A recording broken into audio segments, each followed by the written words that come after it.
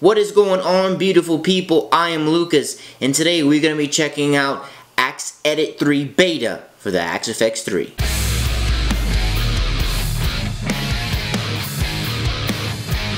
The long-awaited Axe Edit 3 is here. Though it is in beta, it is definitely here. So let's take a look around. Now, every a lot of things in here don't exactly work yet, since this is the very first release. So, uh, controllers does not work.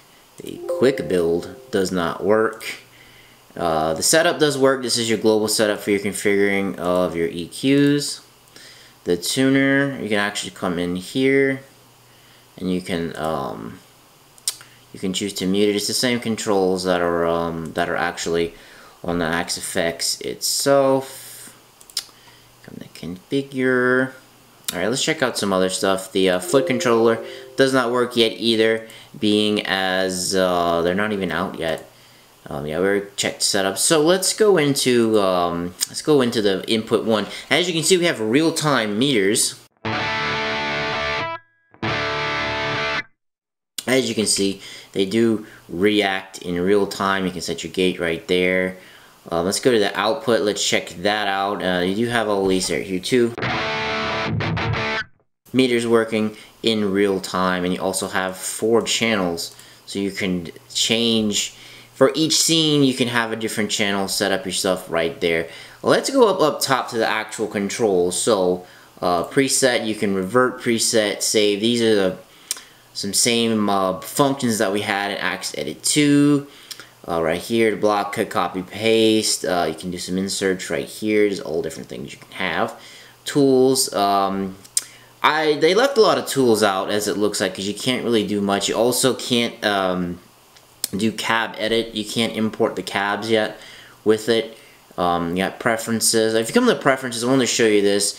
You have it linked up right here, workspace. What I did was I went in and I changed all of my default settings. So my snapshot, my library, my presets, I put it all on my actual different hard drive. The default setting for Windows is it puts it in C slash documents and it like fractal. I don't like putting that stuff on my actual OS hard drive. So I went in and I changed it. Your refresh options, you can refresh the names, cab names, block definitions, options. You can all different options, one right there. Uh, make sure before you even mess with any of these, we mess with your preset, you definitely need to back everything up. I went in and I backed everything up that I would need. This is one of the presets I actually made with the front panel. Let's actually go in and check out the presets. So if you click right here, these are all um, these are all the different these are all the factory presets that they have, and you can do a quick jump to one 255. All of my stuff is after bypass. These are all the ones that I've made and imported so far. It can jump all the way to 511. As you can see, you can jump to the different banks. It's over. Uh, if you click the manage button, that isn't working yet, but I'm pretty sure we're this is this is what you get for now. Uh, you can also pin it. That way it doesn't go away. You can unpin it. And um, let's go back and pick. We still on Poke. There we go. Um, let's check out the compressor. Compressor drives. You can choose it like this. Got that going on right there, Studio Compressor Drive. Drive is the same, exactly like it is. You got your different channels. You can pick all your different drives right here. Go into the also famous amp block. It looks like all of the actual, um, there you go, got some more. Got some more live scales in there, the speaker. This is actually really nice. It's, you can, you can see everything nice and clear speaker drive. It's actually cool. You can see the gain going on your input EQ. You can do your input EQ. This is a, a little bit of EQ that I've done with this. And you have your dynamics, and it still shows you how much gain it's actually not reducing any gain right there as we can see. Okay, so let's go to the cab block. So this is the IR I'm working with right now. These are all of this. I'm in the user um, IR. I'm in the user bank right now. You have two user banks. You have all the legacy IRs. These are all the ones from the Axe-FX 2.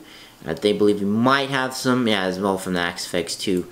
Definitely, um, you can have your scratch pad, putting in different ones that you're demoing. Also, you can also have your quick jumps Uh, let's go back to factory. Let's go back to user one because this is where I have all the ones I've loaded in so far. And you can put 512.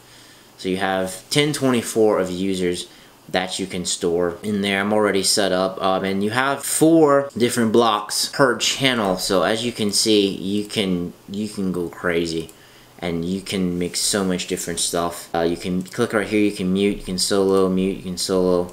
Got that right there. It's it's this is a little it's more or less the same as it is on the um got your preamp right here, you can change that out. Got your room, got your air. Um, we already checked out the out.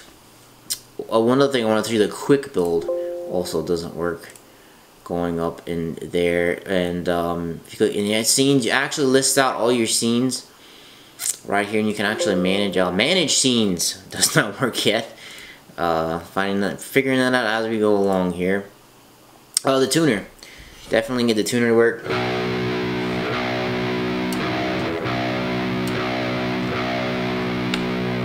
As you can see, we actually have an on-screen tuner. I went in and I made a, I call it an everything patch. So I loaded up one of every single block that the Axe-Fx 3 has because I wanted to show you how, I wanted to show you what works and what doesn't work in the beta right now as of uh, April 30th, 2018. So we've seen the in, the input block, we have the chorus block, that works for channels.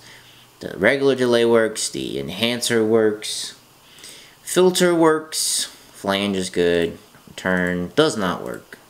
The send doesn't look like the send. I might not have it set up right, but I just kind of want to go through and show you um, the formant block.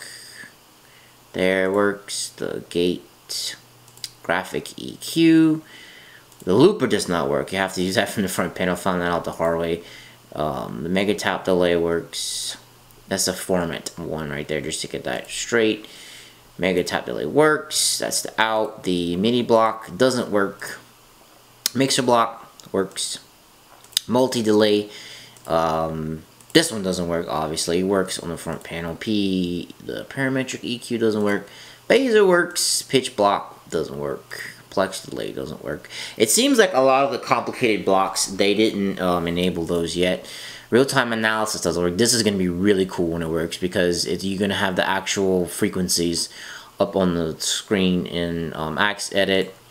The resonator is off. Reverb, of course, works. Best reverbs in the business. Ring modulator works. Uh, this sounds really nasty, but it can be cool.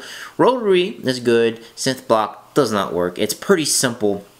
I actually have one of the videos on my channel on this block. I'll link it uh, in the video itself. Uh, tap, the 10 tap delay doesn't work. The tone match currently isn't, a, um, it doesn't work in here as you can see. Uh, pan and tremolo panner works, vocoder does not work.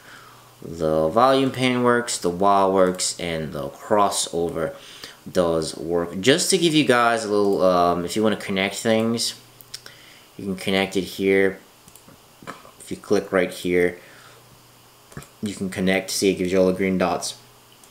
Connect all the way back, just like the Axe-Fx 2. You can put all your shunts in there. I like it so much. It's so much easier to move around. I'm, i can actually stay in front of my monitors whenever I'm doing stuff. Uh, you can take the screenshot. That works. Um, like I said, we changed that earlier. You can show the folder. You can load snapshots. See, I just took that one. You can load that. That still works. Look at the CPU up here. It's very important to point out. I can still load a few more stuff.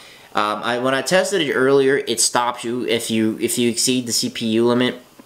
It'll automatically stop you from actually adding the block. It'll just like blink out and it won't work. But I literally have a one of every block, and in some of them, for example, like the drive, you can put up to four. And here, let's just add another drive. See, it kicked up the CPU a little bit. And it shows you in your red line right there, working a little hard. But this is a lot of blocks and you and you have a lot of scenes. You can throw everything on here. You have so many options in the Axe-Fx 3. It's crazy. I love how you have different channels and you can do so much different stuff. Well, ladies and gentlemen, that is going to wrap up my overview of Axe Edit 3 Beta. If you have any questions, any comments, any concerns, let me know in the comments down below. I'm going to do some follow-up videos as we gain more control of it. As I said, this is in beta and it's working pretty good so far. It's been pretty stable. Um, from what I can tell. So that's going to wrap it up for me. I'm going to have to be out. Peace.